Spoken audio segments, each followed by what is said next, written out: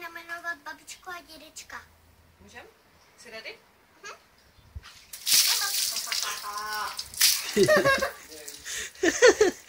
Jo. Hmm.